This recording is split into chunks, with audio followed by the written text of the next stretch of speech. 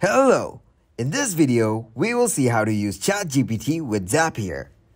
First, go to Google and search Zapier. Go to zapier.com and click to open it.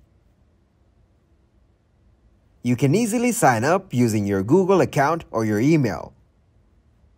To show you, I'm using my Google account here. Click on your account. From here, click on My Apps. Then search for ChatGPT in the Searching tab. Click on Connect to add a new connection. Now you need to open your ChatGPT account in a new tab.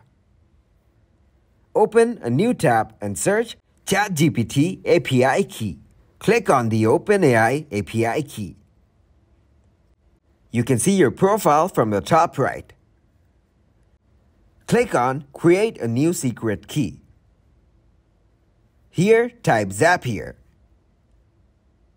Then click on Create a secret key. It will show a link. Copy this link address and click on Done.